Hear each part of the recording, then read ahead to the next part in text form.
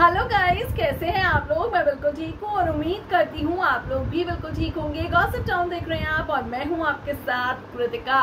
Big boss season 17 का है fans को, बेसब्री से इंतज़ार और ये सीज़न 20 अक्टूबर से होने जा रहा है ऑन इसे में बहुत सारे कंटेस्टेंट्स के नाम भी सामने आ रहे हैं और इसी बीच जो नाम सामने आया है, वो है शफक नाज का नाम। जी हाँ हम सब जानते हैं, शिजान खान की बहन है शफक और यू नो वो अब इस शो का हिस्सा बन सकती हैं। ऐसी खबरें लगातार सामने आ रही हैं। फैंस काफ़ी ज़्यादा एक्साइटेड है और उनकी जो बहन है, वो भी बिग बॉस ओटीटी में आ चुकी है। जैसा कि हम सब जानते हैं कि शफक नाज की बड़ी बहन को हम लोग दे चुके हैं बिग बॉस के ओटीटी सीज़न में और अब उसके बाद शफक के चांसेस है इस शो में आने के। बता दूँ आपको कई सारे शोज़ में वो काम कर चुकी हैं, शफक और वो।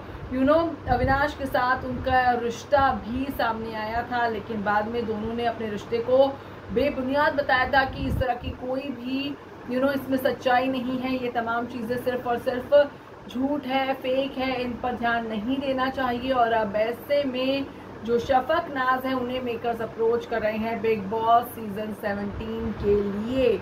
तो guys keep your fingers cross क्योंकि अभी तक फाइनलाइज तो नहीं हुआ है, लेकिन इसी बीच ऐश्वर्या शर्मा, नील भट्ट, अंकिता लोखंडे, विकी जैन जैसे कई सितारों का नाम आ रहा है सामने। तो गाइस प्लीज़ अगर आपको मेरा वीडियो पसंद आया हो तो चैनल को लाइक और शेयर ज़रूर करिएगा। और अगर गॉसिप टाउन पर नए हैं तो please do subscribe my channel gossip town इस वीडियो में इतना ही देखते रहिए ताज़ा तरीन गॉसिप्स के लिए।